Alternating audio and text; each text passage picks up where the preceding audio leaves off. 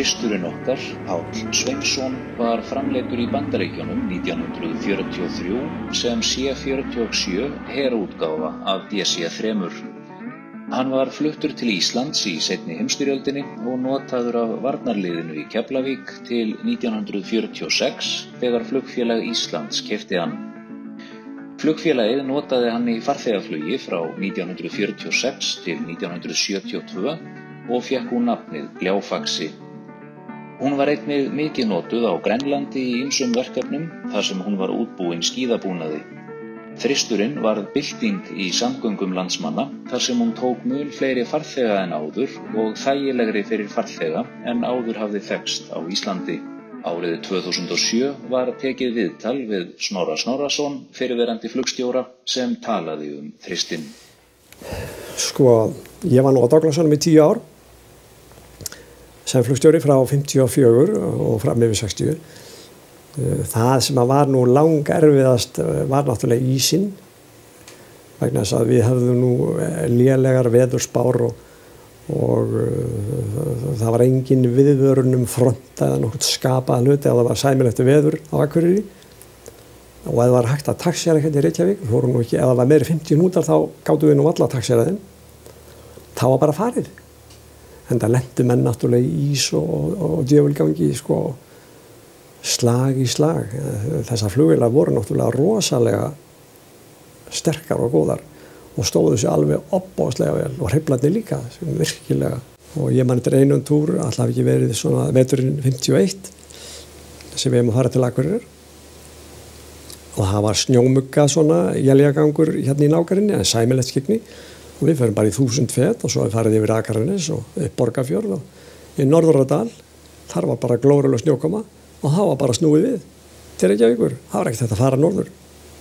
Borglasetti voru náttúrulega þannig að, að það voru bara fluginstrument vinstramegin það voru engin fluginstrument hjá aðstoflumannin það var bara bensimælirinn úti hittamælir og ég man ekki hvort það var neitt annað ég hef ekki vissum það.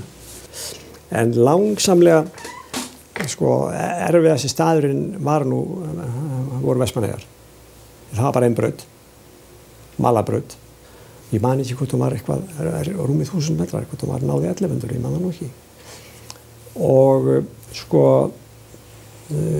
mér finnst sko eftir að higgja bara hreitt barnaleikur að lenda þóttu á, á, á 10.000 fetta brödd það er bara skemmtilegt eins og veist það er bara barnaleikur hjá því að lenda doglasinum í Vestmannheim, kannski fullhlaðnum í hliðavindi vegna þess að, að þú varst að fara á bremsurnar með stjelið uppi. Ha. og þá máttur það varaði á að, að missa hann ekki í rás sko. Og, og að bremsa hana niður og svo eftir stjelið kom niður þá máttur það gastu bremsa meira. En það var verulega vandasamt flug, verulega. Og, og, og bara hasardera á kaplum að því að þetta var bara einn braut og menn voru alltaf í hlýðarvindi og snjó, bremsuskilu það, það, það var bara snjór og það var ekkert spekulur í hvað, hvað, hvað, hvaða bremsuskilu við vorum Hérna er Vestmannegar svona leitt brautin út ef við óum að lenda þar. Og mér er oft hugsað til þess hérna sko að á austurendanum þar var grjót urð. Það var ekki verið að sópa því í, í sjóin það var bara grjót urð á austurendanum glæpa staður. Árið 1972 ákvað stjórn Flugfélags Íslands að frumkvæði Arnar Ó. Jónsson að gefa landgræðslu ríkisins gljáfaksa til landgræðslustarfa. Hinn rausnarlega gjöf flugfélagsins kom í kjölfar samþyktar félagsfundar Félags Íslenskra atvinnuflugmanna frá því haustið 1971 um að bjóða fram flugstörf í þáu landgræðslu landsins án endurgjalds. Vélinn var skýrð Páll Sveinsson í höfuðið á fyrirverandi landgræðslu stjóra og fekk einkenni stafina TFNPK. En stafirnir NP og K eru efnafræðileg tákn þeirra áburðategunda sem mest eru notaðar.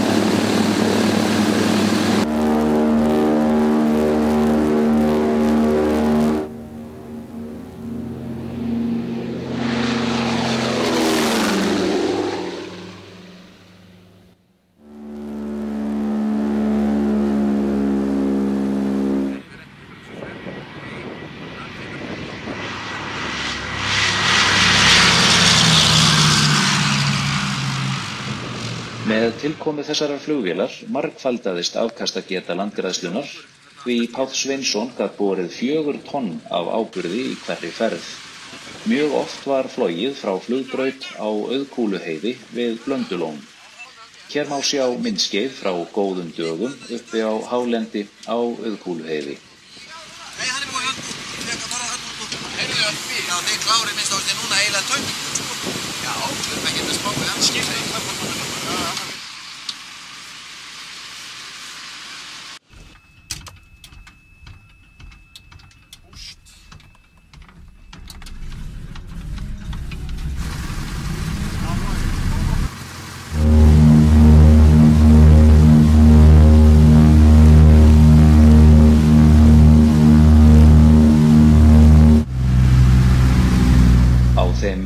30 árum sem Páll Sveinsson var í notkun landgræðslunar var vélinni flogið í alls 4.800 flugtíma og dreifði um 35.400 tonnum af fræjum og áburði í 8.850 flugferðum. Heildar flugtími flugvélarinnar frá upphafi eru um 27.000 klukkustundir. Frá upphafi hefur TFNPK verið að mestu leyti flogið af atvinnuflugmönnum sem lagt hafa fram vinnu sína án endurgjalds.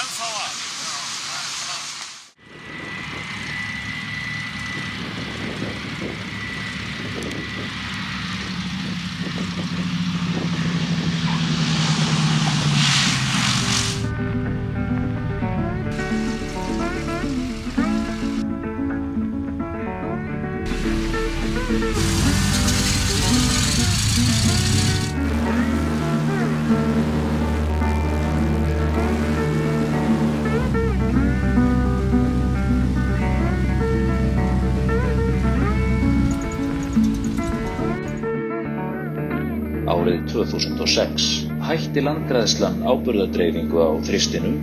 Þristafinafélagið hefur rekið Pál Sveinsson með stuðningi frá einstaklingum og fyrirtækjum og sérstaklega Æslander.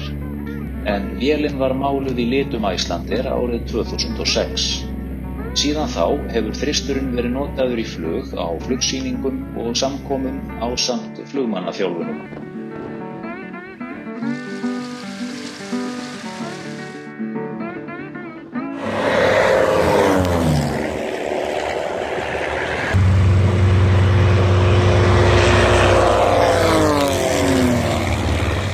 Þristurinn vekur alltaf mikla aðtikli og aðdáun hvar sem hann kemur. Hann er gemdur á flugsafninu á Akureyri.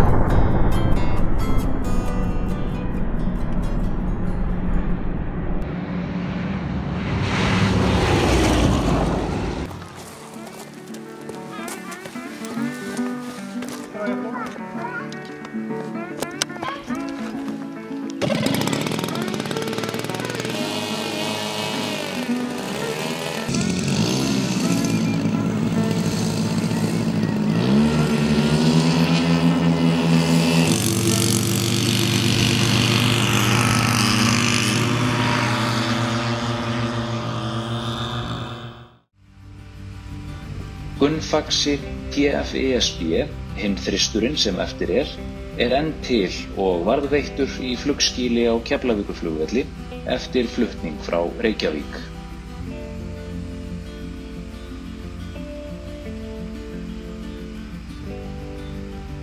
Árið 2004 komu saman fyrirverandi atvinnuflugmenn sem flugu þristinum hjá flugfélaginu.